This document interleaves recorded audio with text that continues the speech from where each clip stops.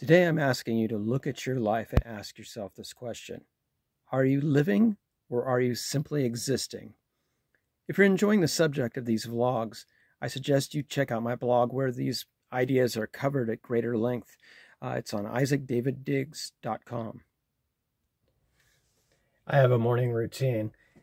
I go out into the yard and I sip my coffee and I just watch and listen to the birds. I leave my phone inside because I know I'll get in, sucked into social media and the news, which is always just seemingly getting more outrageous and bombastic.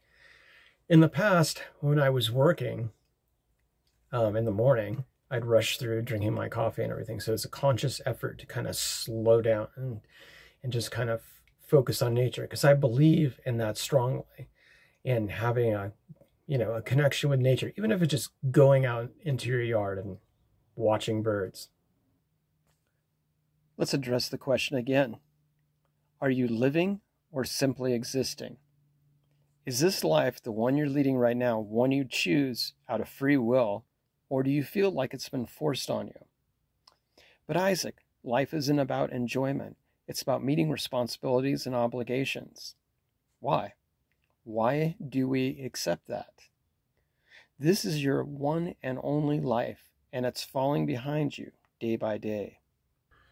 When I first asked myself this question, it was roughly eight years ago, and I was stuck in traffic in Portland, rush hour traffic.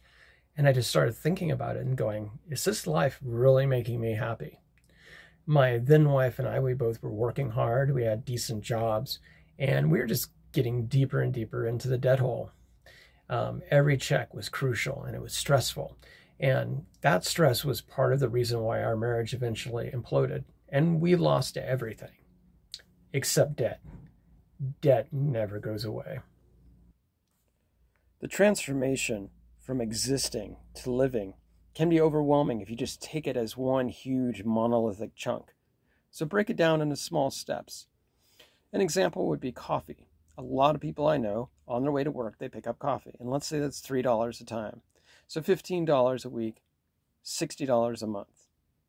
Now, $60 isn't going to make or break you, but it's just an example of one small step to take, one small step at a time.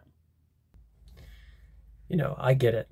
We all face obligations from our family, from our friends, coworkers, where you're supposed to be, this concept of success you know, where's your 401k plan? You know, the thing is, you don't have to accept it.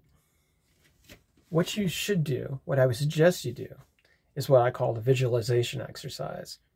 And set it five years in the future. Write it like a little story, like where you see yourself living and what you see yourself doing day to day. You know, it's strangely calming. And once you do that, you know, set it five years in the future because I believe you can make just about any change in five years. You can work through anything. Look at it and break it down in little pieces. How do I go from here to there? This is your one and only life. And I would seriously recommend figuring out how to live it and not just endure it.